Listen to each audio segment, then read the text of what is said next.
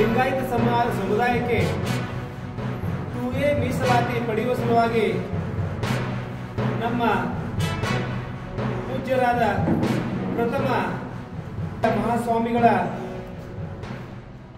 ದಿವ್ಯ ಸಾನ್ನಿಧ್ಯದಲ್ಲಿ ಹಾಗೂ ಅವರ ನೇತೃ ನೇತೃತ್ವ ಹಾಗೂ ಮಾರ್ಗದರ್ಶನದಲ್ಲಿ ದಿವಸ ಸುವರ್ಣ ಸೌಧಕ್ಕೆ ಗುತ್ತಿಗೆ ಹಾಕುವ ಕಾರ್ಯಕ್ರಮದ ಅಂಗವಾಗಿ ಈ ಎಲ್ಲ ಹೋರಾಟಗಾರರ ಯಾವ ರೀತಿಯಿಂದ ಹೋರಾಟವನ್ನು ಮಾಡಬೇಕು?